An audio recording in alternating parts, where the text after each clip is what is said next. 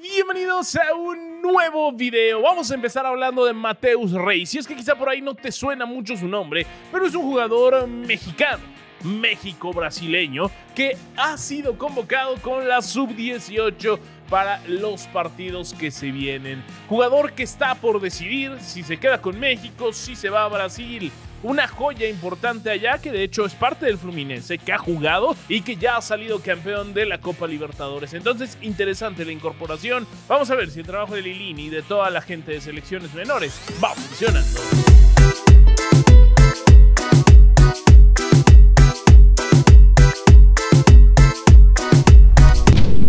Y vámonos a arrancar ya con las noticias con un tema por demás interesante y es que, bueno, ¿por qué no decirlo? En este momento Santos se quedó sin director técnico, pero bueno, pues eh, parece que ya tenían una opción B desde antes y es que tras el mal resultado frente a Tigres, la directiva de Santos decidió mandar un comunicado en el que informaban que Pablo Repeto y su cuerpo técnico dejaban la institución. Unos Santos que me parece a mí se equivocaron al sacar a Fentanes si bien es cierto, Fentanes no, no llegaba a dar todos los resultados que ellos querían, era mucho más estable que este respeto al que vimos en los últimos meses, pero ahora creo yo van por buen camino. Y es que parece que todo está cerrado para quien será su nuevo director técnico, ni más ni menos que Ignacio Ambriz. Nacho Ambriz, un tipo de muchísima jerarquía, un tipo al que conocimos bastante ratonero, a decir verdad, en el inicio de su carrera como director técnico, pero que poco a poco, y ya con León nos lo demostró clarísimamente, y luego con Toluca también ha ido evolucionando para convertir a sus equipos en algo mucho más equilibrado. Si algo sabe hacer bien eh, Nacho Ambriz en esta liga es ganar puntos. Luego quizá las liguillas y esto no termina de acomodársele tan bien como la temporada regular, pero oye, para ganar puntos Nacho Ambriz es muy bueno. Llegaron a sonar otros nombres en las últimas horas tras el anuncio de la salida. Uno de ellos era Diego Coca que parecía podía tener su regreso a la Liga MX tras su abrupta salida de la selección nacional, pero no se dará. Y es que, insisto, parece que Nacho Ambriz ya está solo a detalles de estampar su firma. Estamos otra vez, me parece que había pasado ya un par de años sin vivir esta situación y es que ha pasado ya una tercera parte del torneo y en este instante hay muchos equipos con pues mucha cercanía entre ellos en la tabla general.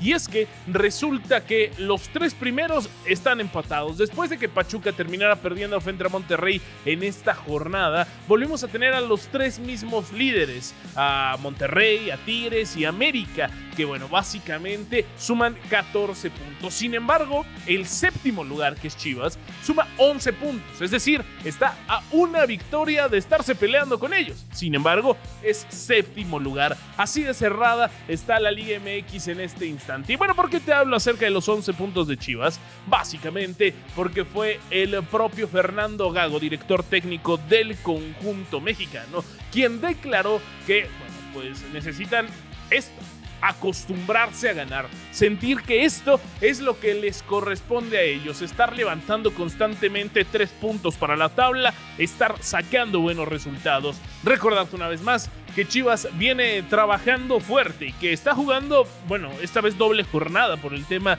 de la Champions Cup, de la Conca Champions Cup.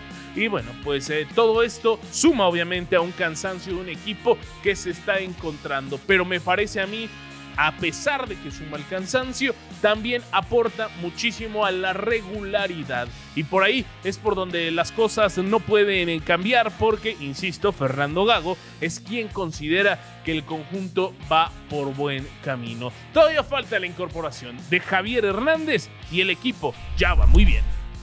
El Club León hizo una de las inversiones más importantes de los últimos años en la escuadra. Fue traer a Andrés Guardado. Si el precio, bien, no fue tanto. Lo que sí es importante es el peso mediático que tiene el jugador y el peso que tiene futbolísticamente en la cancha. Porque tú podrás decirme lo que quieras, pero Andrés Guardado lo hace muy bien en el terreno de juego. Andrés Guardado, a pesar de su edad, a pesar de todo lo que tú me puedas decir, sigue siendo la inteligencia misma dentro de la media cancha, así que, bueno, pues eh, perderlo es difícil. Y resulta que tras el último partido sale lesionado y para muchos se encendieron las alertas Sin embargo, salió caminando. Y esto nos habla de algunas cosas. Y es que permíteme te explico. Él mismo, al salir, bueno, pues eh, platicaba con algunos medios de comunicación y decía, sí, yo sentí el desgarro, sentí que no podía seguir y bueno, pues ahora tocará recuperarse. Al poderlo decir él, al salir caminando, sabemos que no es un desgarro de tercer grado. Por lo tanto, no hablamos de meses de recuperación. La cuestión aquí es simplemente esperar el parte médico que nos haga llegar León. Ahí nos enteraremos si hablamos de algo de segundo o de primer grado. Al haber salido caminando, vuelvo a insistir, bueno, pues básicamente los especialistas hablan de que podría tardar de 8 a 10 días su recuperación. Hablamos pues de dos jornadas quizá para que esté de regreso o si se complica mucho la cosa, de dos a cuatro semanas. Ahí sí estaría más difícil porque entonces estaríamos hablando de un mes con el jugador fuera, un jugador que viene para intentar que León se meta en liguilla. Un mes en este torneo significa muchísimo, significa, bueno, pues prácticamente llegar a la última fase del torneo regular.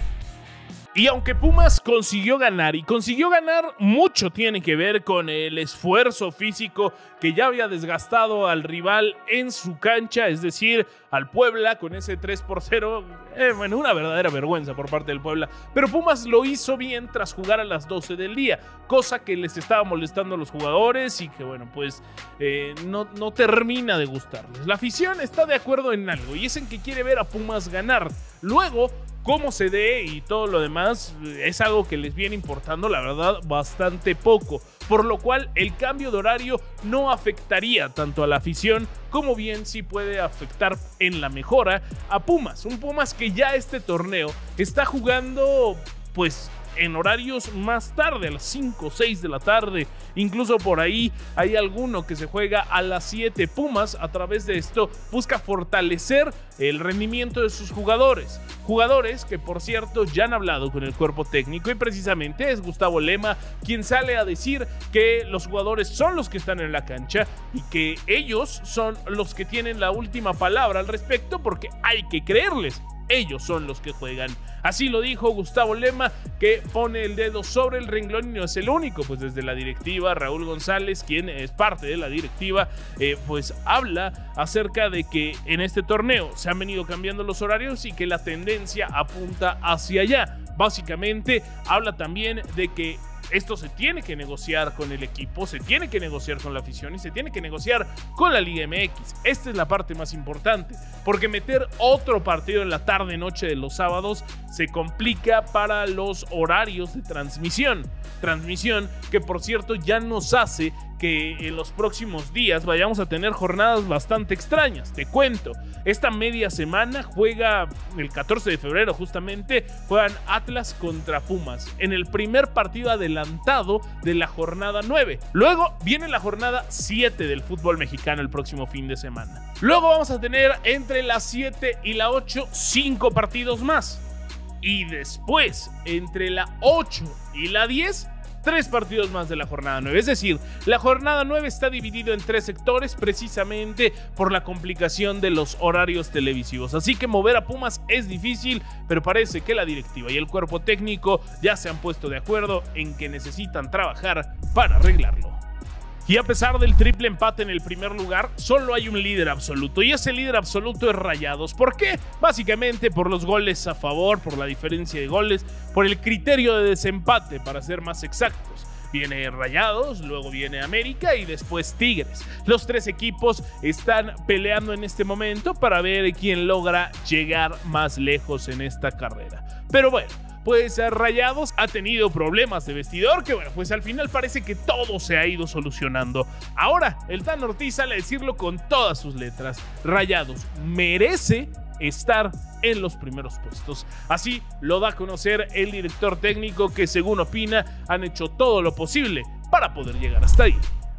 Qué bien por Cruz Azul ir como va. Qué mal por Cruz Azul haber gastado 11 millones y que hoy se vayan al hospital directamente. No gastó 11, ¿sabes qué? Gastó 7.5 y lo demás fue en impuestos. Yo no sé quién les hizo creer eso, pero pues siempre se pagan impuestos. Gastó 11 millones de dólares por el jugador que salía de Pumas, el Toro Fernández. Al final, obviamente no es su culpa, no es una cuestión de calidad, no es una cuestión de desempeño, es pues lo que tiene el fútbol. Se va lesionado y se va, bueno, pues de 8 a 10 meses fuera cosa que es bastante grave, porque lo llevaban precisamente para ser el referente en el ataque. Sin embargo, si tú sigues a Cruz Azul, habrás visto por allá a mediados de enero el nombre de un jugador, Mateo Levi, un tipo de 17 años, 17 años. Ya debutó en la primera división y además lo está haciendo bien. Al parecer, ha decidido tanto Anselmi como el propio Alonso que se quedará él como cambio de el jugador que ahora se ha ido lesionado. Básicamente el Toro Fernández queda fuera y Mateo Levi toma su lugar. Un Mateo Levi que con 17 años tendrá una oportunidad que no se da desde hace mucho tiempo en el fútbol nacional. Ser muy joven, tener tanta responsabilidad y la posibilidad de foguearte eh, pues eh, siendo el referente del ataque de un equipo importante como es Cruz Azul. Ahora, Mateo Levi tendrá que mostrar hasta dónde le alcanza su potencial. ¿Quién es Mateo Levi? Bueno, pues es un tipo que llegó a Cruz Azul allá por 2022, obviamente a trabajar con las fuerzas básicas, hace aproximadamente año y medio, ya casi dos años de su llegada. Un jugador que en aquel entonces tenía 15 años, que hoy por hoy es mexicano, y es que sí digo hoy por hoy porque tiene la nacionalidad mexicana, pero hay que decir que nació en Argentina. El jugador podría, obviamente, en caso de ser una revelación, ser llamado a la selección mexicana y ser llamado también a la selección argentina. Se repite la historia de Santi Jiménez con un delantero que puede ser llamado a esas dos selecciones. Bueno, pues esperemos que sí. Esperemos que lleguen muchos goles, esperemos que el talento siga creciendo en el fútbol de este país y que, bueno, pues eh, como Pachuca ya nos demostró que se le puede dar chance a los jóvenes, ahora Cruz Azul mantenga este ejemplo y varios otros equipos sigan por la misma línea. Ahora, todo esto se ve muy bonito, ¿no? Es como todo color de rosas, pero contarte que Cruz Azul, bueno, pues al entender que el mercado cierra en realidad hasta el 12 de marzo, me parece, pues ellos tienen chance de ir a buscar algún refuerzo por lesión. De por sí podían traer a quien sea que no tuviera contrato. Agentes libres pueden seguir firmando con todos los equipos de la Liga MX. Pero ahora que han tenido este problema de lesión y que pierden un jugador durante todo el resto del torneo, pueden ir a buscar a otro equipo, algún jugador que sí tenga contrato y ficharlo. No van contra el reglamento FIFA, de hecho esta cláusula está hecha precisamente para esto, para que los equipos no pierdan competitividad a lo largo de los meses siguientes una vez que pierden a los jugadores tan temprano en el torneo.